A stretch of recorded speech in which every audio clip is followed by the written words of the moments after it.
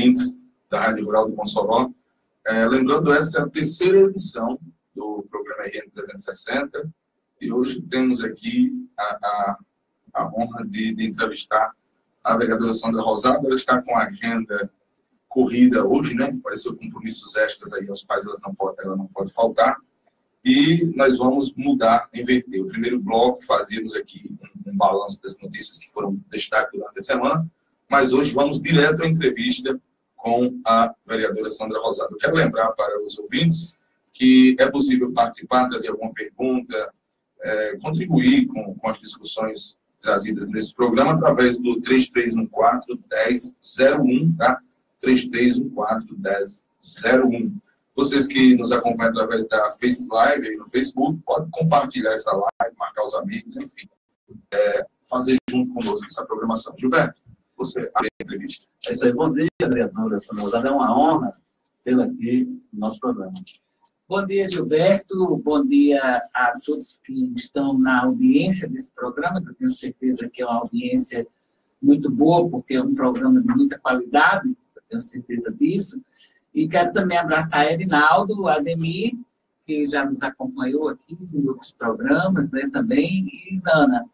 É, estou à disposição, à disposição de vocês. É isso. Vereadora, é, como, como tem sido a experiência de ser vereadora, que está né, contribuindo com o Mossoró agora na Câmara Municipal? Olha, eu considero que ela é muito interessante e me causa assim, muito prazer. Ela é prazerosa, porque, Gilberto, eu, você sabe, eu, nós temos assim uma afinidade pessoal, né, independente de qualquer questão, e você sabe que eu sempre gostei muito de dialogar com o eleitor. Então, eu estou tendo essa oportunidade. Eu digo às pessoas que Deus me deu essa missão. Tirou o mandato de federal, que eu tenho certeza que algumas pessoas sentem falta dele, mas me deu uma experiência nova, que está me revigorando, tá entendendo? Eu estou tendo uma postura que eu estava tendo dificuldade de exercitá-la, que era esse contato diário com as pessoas, com o povo, visitar a área rural, visitar a casa dos mais pobres. Então, eu estou tendo essa, essa experiência e eu estou muito feliz com ela. É, seria uma forma de, de, de, recomeço nesse sentido assim, já vem dobrando, vamos, vamos antecipar aqui, vem dobrando aqui na, no próximo ano, haverá eleições, é, Santa Rosado poderá ser, ser candidata para tentar voltar? Eu, eu quero colocar meu nome à discussão à disposição do meu partido, né, é, e à disposição do povo de Mossoró e do Rio Grande do Norte. É, eu tenho sido estimulada imensamente pela população, modéstia à parte, é, eu sou uma política de muito pé no chão. Eu, eu sei por que, é que eu perdi a eleição passada, deputada federal, me faltou recurso financeiro, eu enfrentei uma bancada milionária, né, que chegou ao mandato por conta do dinheiro que investiu, que gastou, e eu, na verdade, eu, eu, eu não tenho grandes recursos financeiros para bancar uma campanha. Eu sei das dificuldades que eu vou enfrentar, mas eu tenho sido muito estimulada pelas pessoas, prefeitos, ex-prefeitos, prefeitos que foram da minha época como deputado, deputada federal, é, é, segmentos da sociedade que sempre tiveram em meu mandato uma abertura muito grande né, para o diálogo, para a reivindicação, para as providências. Então, eu pretendo ser candidata a deputada federal. É, se Deus achar que não é esse o meu caminho, eu, eu obedeço as ordens dele. Mas, se não, se ele, ele permitir, eu estarei na luta para deputada federal. A pavimentação desse caminho de volta passa também pela provável mudança de partido? Olha, poderá passar. É, eu tenho, é, pela direção nacional do meu partido, o maior apreço. É, eu, inclusive, eu sou a única eleitora do Rio Grande do Norte do Diretório Nacional do PSB, né? sem mandato federal. E eu tenho esse, esse, é, é, esse diálogo, né? quer dizer, é um grupo que dirige, que decide pelo partido em nível nacional, que eu faço parte. Agora, eu discordo da forma como ele está sendo administrado aqui no Rio Grande do Norte. É, é uma forma muito personalista e que eu não concordo com isso. Eu acho que o partido, o próprio nome do meu partido, que eu adoro o PSB, ele já tem a socialização né, como uma base, o socialismo como uma base, que é essa divisão entre as pessoas. E ele hoje está com um poder personalístico e muito centralizado. Então, eu gostaria de, de que, se o Partido Livre do Rio Grande do Norte fizesse essa reflexão, é, fizesse essa distribuição de comissões, de espaços, eu não tenho dúvida que eu permanecerei nele. Agora, é, se não houver esse tipo é, de posição, eu tenho que pensar num partido que me dê espaço. Então, eu gostaria muito que eu permanecesse nele. Eu, logo, eu tenho uma dificuldade enorme, Gilberto e, e Arinaldo, é, de, de trocar de partido. É uma coisa que eu fiz uma história de vida 22 anos. Eu saí porque não houve assim um bom entendimento é, numa posição que foi assumida naquela época do senador é, Garibaldi, que eu não guardo nenhum ressentimento. A prova disso é que votei nele outras vezes. Não votei naquele ano, que ele perdeu a eleição. Mas vou, votei nele nas outras vezes para o Senado e não tenho mágoa nenhuma. Meu relacionamento com ele é 100%. É, saí por conta dessa falta de compreensão, de entendimento, e desde aí que estou no PSB. Então, eu não, não tenho pretensão é, de sair, mas caso continue dessa forma, eu tenho que pensar também no meu eleitor, no meu espaço e na minha possibilidade. Gilberto, vamos aproveitar que a Francisca, né, do bairro Barrocas, está ao vivo com a gente via telefone. Ela gostaria de, de participar do programa. Vamos ouvi-la. Bom dia. Bom dia. É, Francisca, qual a sua participação? É, eu quero parabenizar a nossa vereadora uhum. e dizer que ela é uma pessoa digna de ser qualquer partidária, de candidato que seja vereador, seja federal, seja estadual, uma mulher de palavra, uma mulher que quando pode, pode, quando não, também não engana o seu eleitor. Isso é muito importante, cara. E eu quero dizer para ela que eu admiro muito, acompanho o seu trabalho e quero parabenizar a senhora Santos, senhora vereadora, com todo o estímulo com todo o amor de mãe, de, de, de filha, de tudo que você participa é digna. Meus parabéns, um abraço. Obrigada, Francisco. Muito obrigada. É, eu quero agradecer. Você me deixou assim verdadeiramente emocionada. Eu sou uma pessoa assim muito sensível é, e quero aqui agradecer suas palavras, né?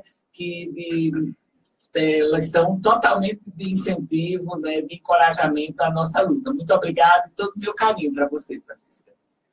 É, vereadora, a senhora, é, depois de uma reaproximação né, é, com o Rosalbismo, com o grupo da, da atual prefeita, doutora Rosalba Ciardini, a senhora está vereadora na base de, de apoio à, à, prefeita e no grupo há o deputado Beto Rosado, que certamente deve buscar a renovação do mandato. A senhora tem, como a senhora tem visto aí, consensos, entendimentos, é, para que se viabilize também o seu nome é, à Câmara?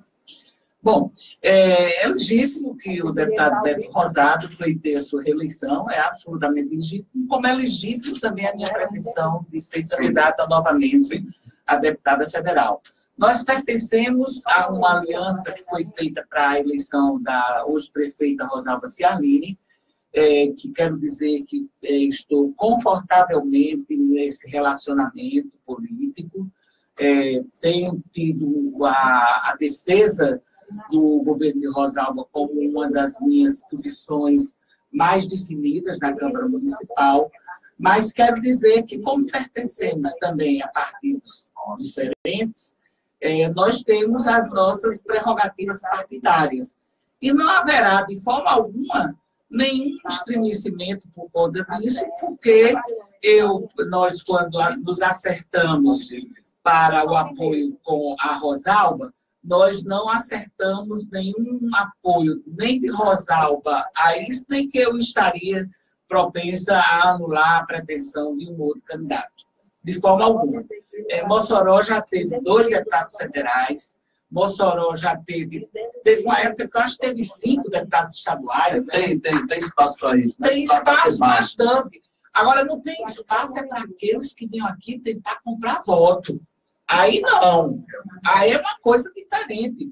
Mas essas pessoas que são filhas de Mossoró, ou que não são filhas, mas que vivem aqui no seu dia a dia, que conhecem a cidade, que sabem seus problemas, é legítimo que elas discutem aqui como sua base principal, não é?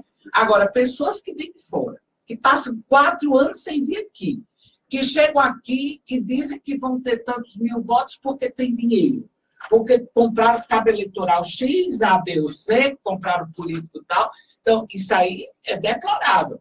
Mas que Mossoró pode ter dois deputados federais? Pode sim. E eu vou buscar ser deputada federal, por Mossoró para o Rio Grande do Norte e para o Brasil. Foi muito importante esse alerta da vereadora, porque em relação à Assembleia Legislativa, Mossoró tem pago um preço caro. Muito né, caro. Um, um, comportamento aí meio que inconsequente da população do Brasil.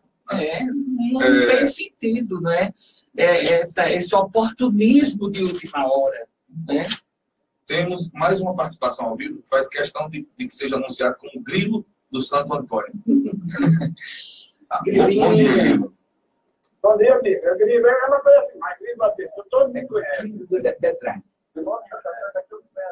É Grilinho do Detran. Tudo bem, é muito bem-vinda a sua participação. Como deseja interagir conosco?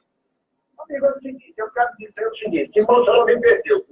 Não estou aqui querendo é, matar ninguém, mas que a gente vê que quando o Sandra estava na, lá na, na universidade, Bolsonaro sempre tinha alguma coisa, ele tem Grande do Norte, você vê que quando a encurtar as palavras, quando ela foi prefeita, seis vezes que ela passou aí, ela conseguiu casa para fora. Né? Essa, essa, esse hospital dela para casa. É, ganhou o neném. Depois de isso, ela ir para Fortaleza, para Natal, não sei. Isso não, não existe. E que ela é uma pessoa, sem palavras. Eu já vi muito, muito político, a gente vê os políticos, principalmente aqui no Mossoró, que diz uma coisa e não cumpre, né? Principalmente agora, mas a gente está vendo a gente está em estado de Mossoró. Aqui no Santo Antônio, amigo, o cara faz um casamento um dia, todo dia, tudo, dois dias já está caindo aquela, mulher. Então, vamos ver. Ela é uma mulher de palavras, luta de palavras de carne eu estou com ela assim embaixo. Que bom, Belinha. Obrigada, viu? Um carinho muito especial para você e toda a sua família. Muito obrigada. Muito obrigado aí ao, ao cidadão pela participação, tá? É, vereadora Sandra, recentemente, aliás, na última vinda do, do governador Robinson, a, a, Mossoró, foi feita umas imagens da senhora e da deputada Larissa dialogando com ele e a imprensa começou a especular é, o ensaio de uma, de uma aproximação, de uma reaproximação. É, como a senhora vê a situação do, do, do, governo do Estado em relação ao Mossoró, em relação ao Rio Grande do Norte como um todo, e qual hoje é a sua relação é, política e pessoal com o Robson? Minha relação pessoal com o governador Robson Faria é excelente.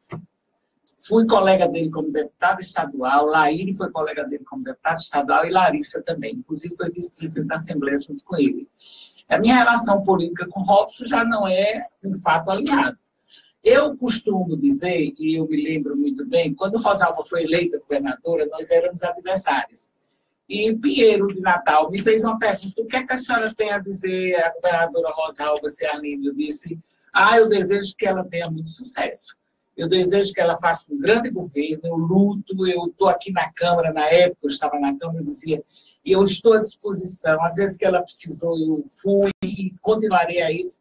Está havendo algum alinhamento político? Não. Eu desejo que o governador Robson, que está encontrando imensas dificuldades para governar, ele possa melhorar o governo.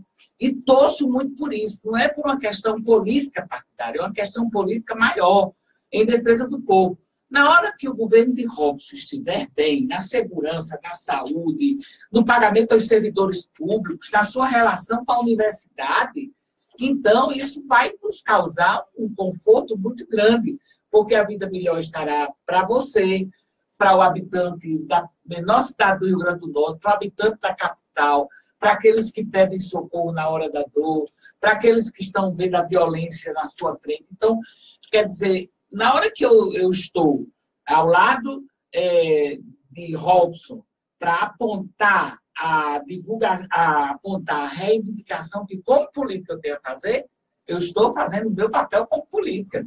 Não há um alinhamento político. Eu não vou dizer que daqui a algum tempo, daqui a alguns anos, a, a gente possa se encontrar. Ele é partido diferente do meu, né?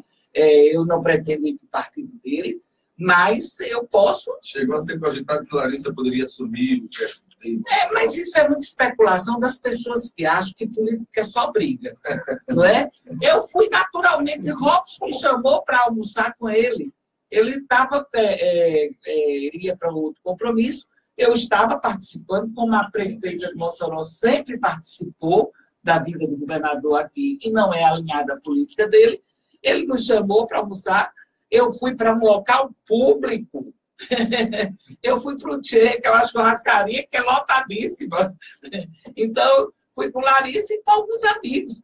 E lá chegando, alguém veio e diz assim: Ah, eu surpreendi a deputada eh, Larissa e a vereadora Sandra. Não. Se eu tivesse escondida, não é? é mas eu não estava, eu estava ali. Se tivesse camuflado em algum Pois lugar. é, em algum lugar tivesse pedindo para ir para casa com um amigo, ou ele ir para minha casa.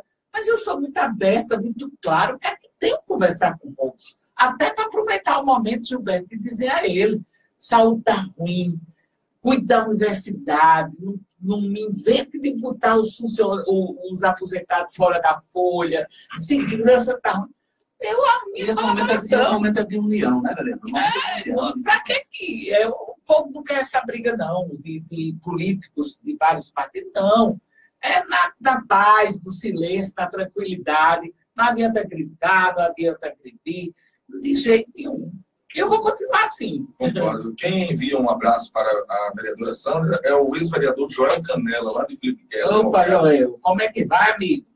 ele conduz um programa também aos sábados, é. logo após o nosso, que isso na, na FM dele, lá em Filipe. É, ele é um apaixonado também. Por... é, muito bom. Obrigada, Joel. Deputada, é, vereadora, futura deputada, né? Pode dizer assim, né? é, como é que a senhora observa hoje o Congresso Nacional diante né, desse caos que está acontecendo?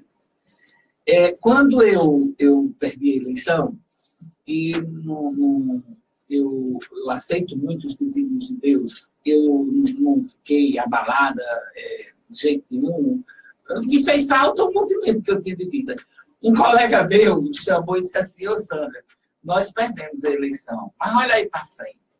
É, você sabe que daqui a alguns anos a gente vai dar graças a Deus que vai passar um período fora. Eu digo, eu não vou dar graças a Deus por isso, não, porque eu queria que Deus tivesse mudado aqui e o povo. Mas hoje eu vejo eu tenho surpresas com determinadas posições. Né? Eu lamento, lamento muito que é, em determinados momentos o Congresso tem faltado com o compromisso com o povo brasileiro. É, é um fato que é, nos deixa triste. Agora, eu também quero dizer que a população precisa estar alertada que há um exagero muito grande é, nessa nessa questão, por exemplo, de propina, é, eu, graças a Deus, nunca recebi, falo com a maior tranquilidade.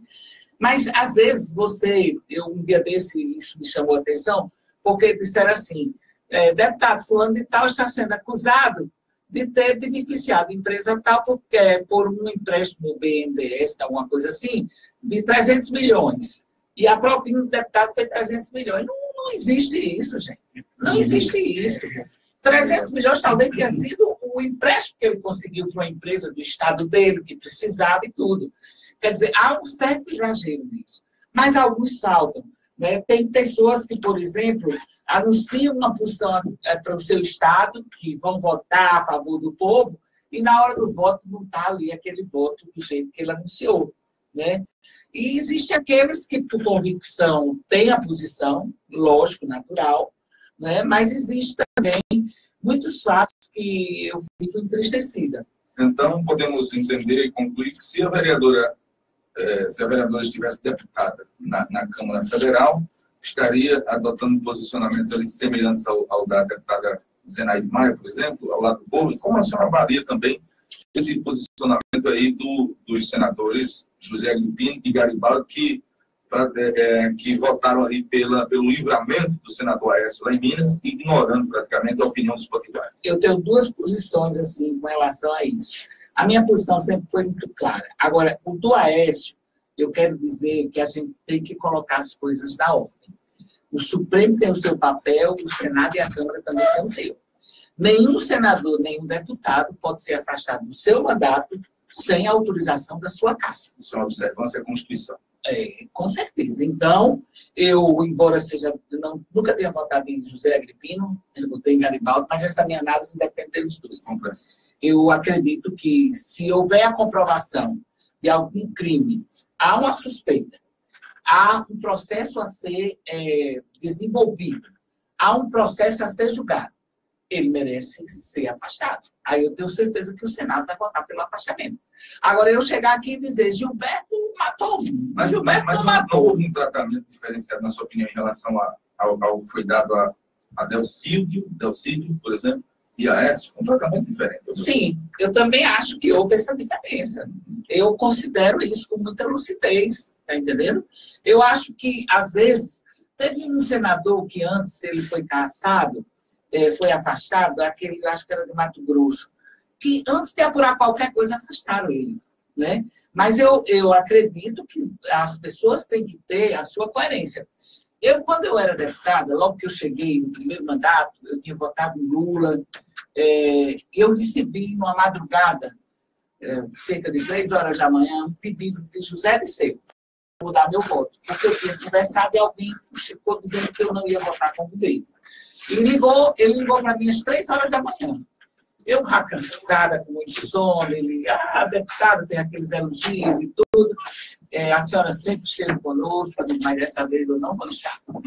Aí ele disse, mas não pode, porque a gente precisa do seu voto. Eu disse, pode. Sou filha de um homem que tinha uma palavra e que ele procurava manter. Eu sou desse jeito. Ministro, é o seguinte, dessa vez eu vou votar contra o governo conscientemente. Mas pode ser que lá na frente o senhor precise de um voto mais importante do que esse. E eu estarei, de acordo com a minha consciência, posso estar a favor dessa posição. E mais na frente aconteceu. Então, uma votação que eu, ele precisava, o governo, desse voto. Mas não votei. Não votei claramente. Então, eu acho que a pessoa tem que ter é, uma posição.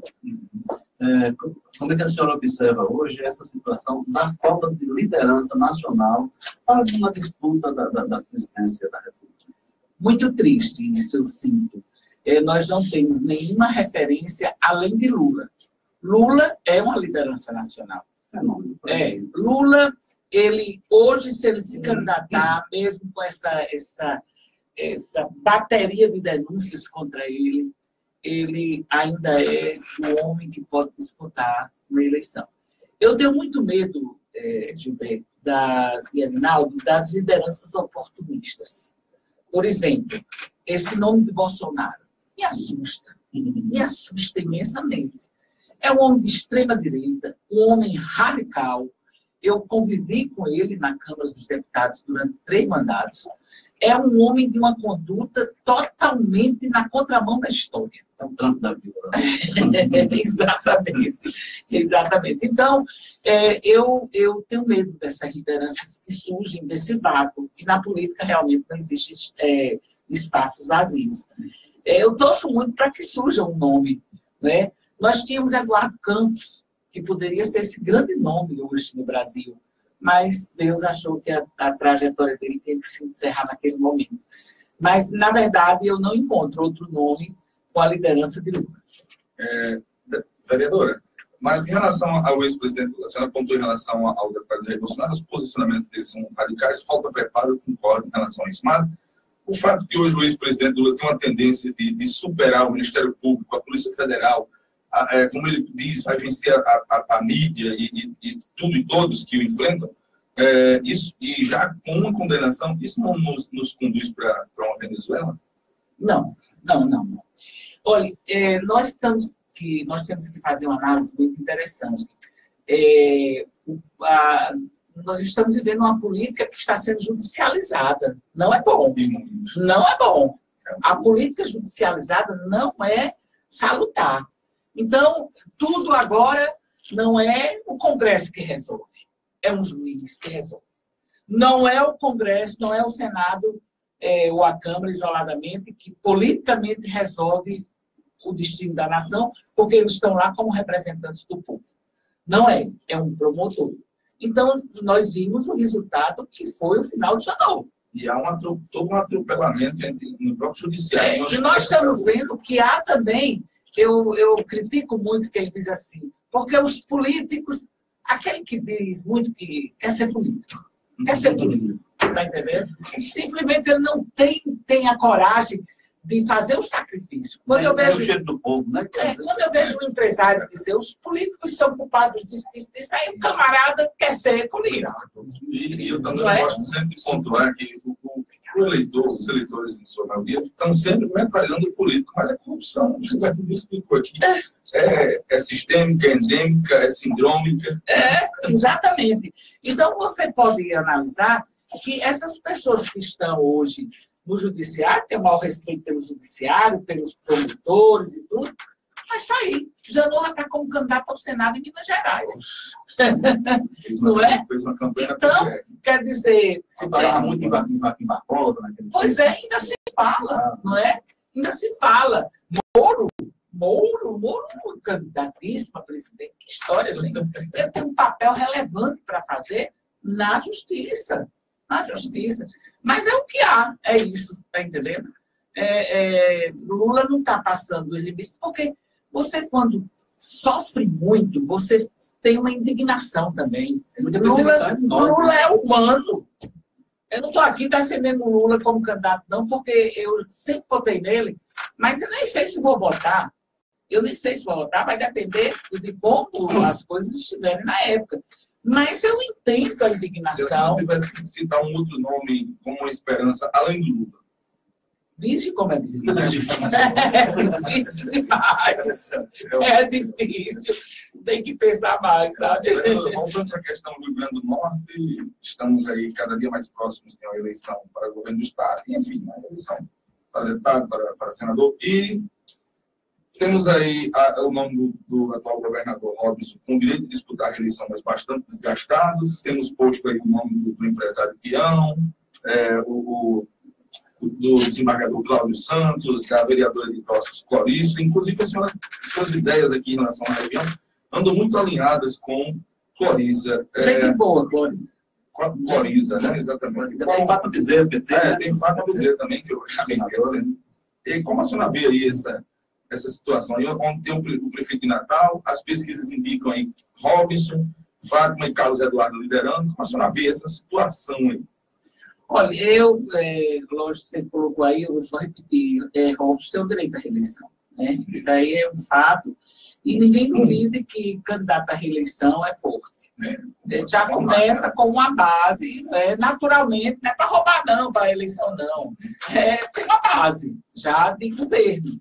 E a gente sabe que existem eleitores que votam por quem está no poder também, né? Aí nós temos é, o nome de Fátima, que, sem dúvida alguma, é uma grande parlamentar, né? Eu tive é, a convivência com Fátima em quatro mandatos, de estadual e três federal. Então, é, é uma brava lutadora. Agora, o nome de Carlos Eduardo é, não deve ser menosprezado nessa luta.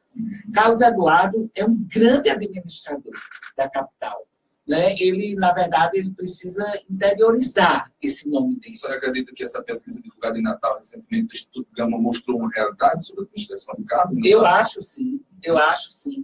É tanto, quando você vê um político sendo muito espancado, você pode olhar que ele está bem, ele está fazendo pelo povo e o adversário está achando ruim, porque ele está fazendo pelo povo em árvore que não dá fruto, né? Então, Carlos Eduardo tem sido um grande administrador né, é o nome que, na verdade, é, ele poderá disputar essa eleição, despontando para uma provável eleição.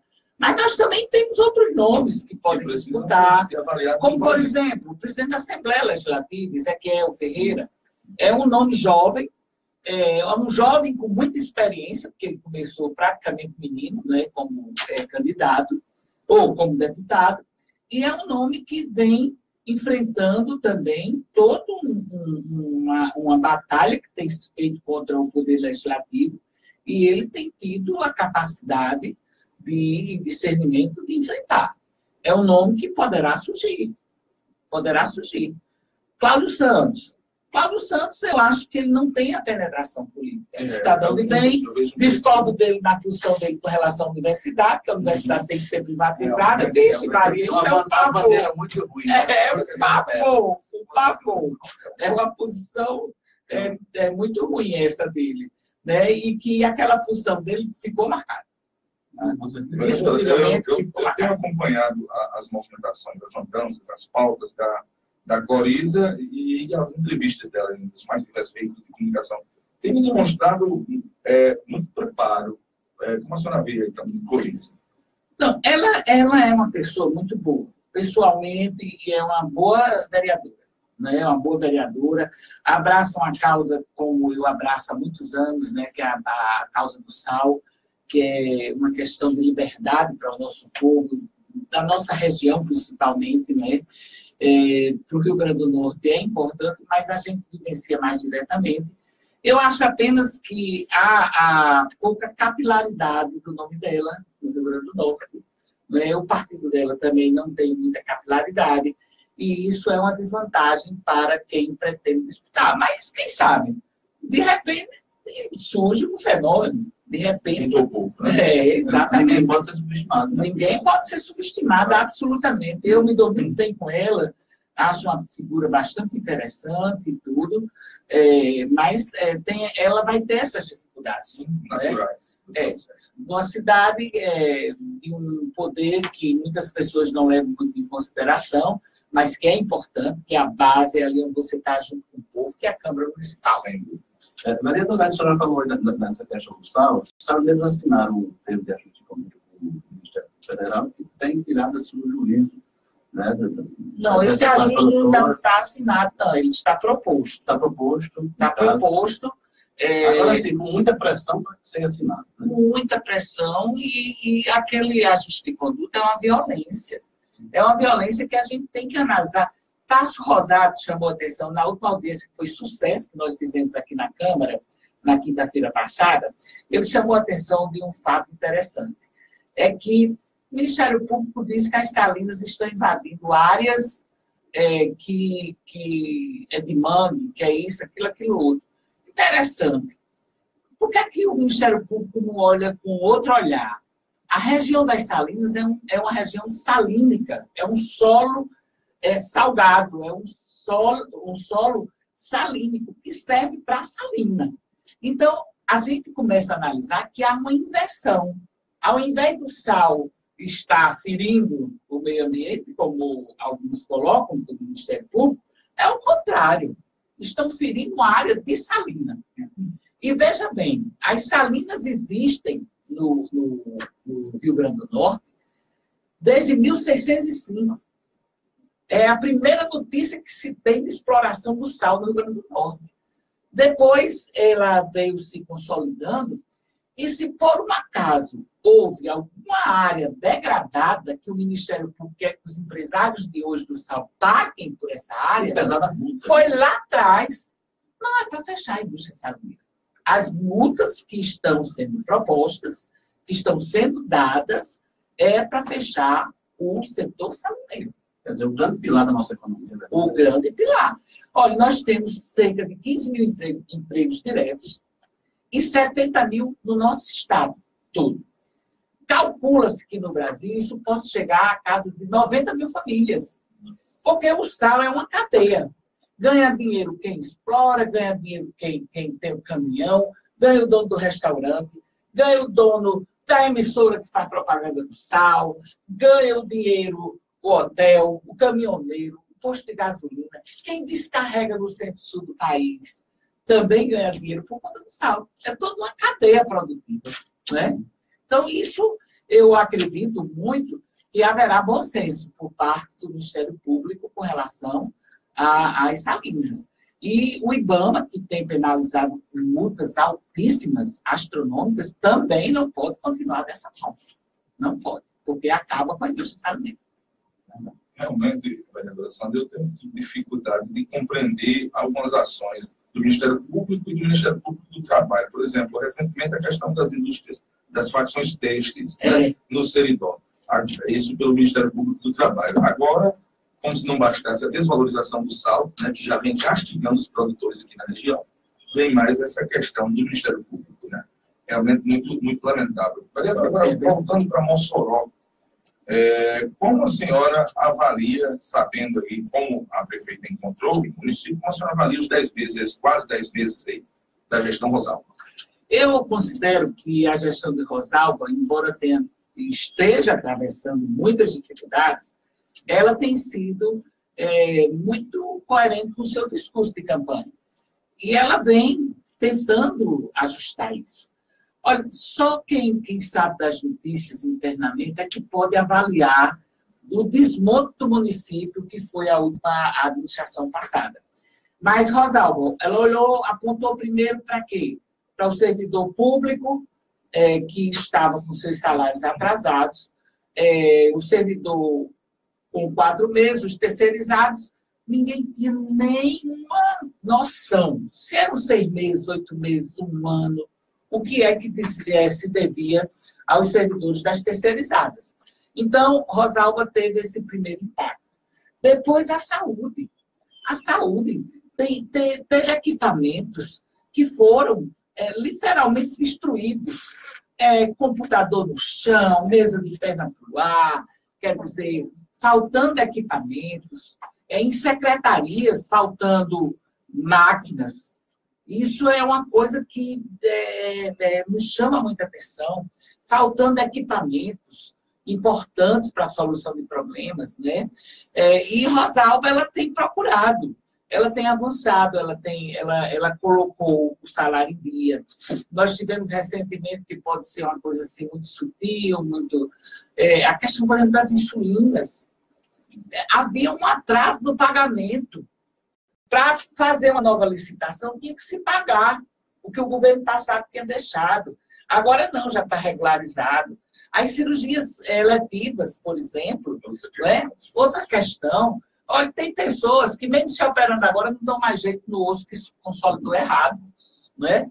Há um ano, é, é, eu conheço um cidadão é, que mora ali pertinho entre Belo Horizonte e, e Alto Xerém, que ele faz um ano e seis meses que está com um problema no braço. Então, quer dizer, fatalmente já houve, já colou de um jeito. Aí a cirurgia não vai dar jeito, porque o governo passado não tem responsabilidade de colocar as coisas no bom caminho. A Previ, né, que não, é, é, é, é um órgão... noticiado aí a ausência de 20 milhões. Né? Pois é. é. E outra coisa, um empréstimo que ninguém sabe. Parece que é um, uma empresa que diz que é banco, que o cliente é a Prevido Mossoró. Está entendendo?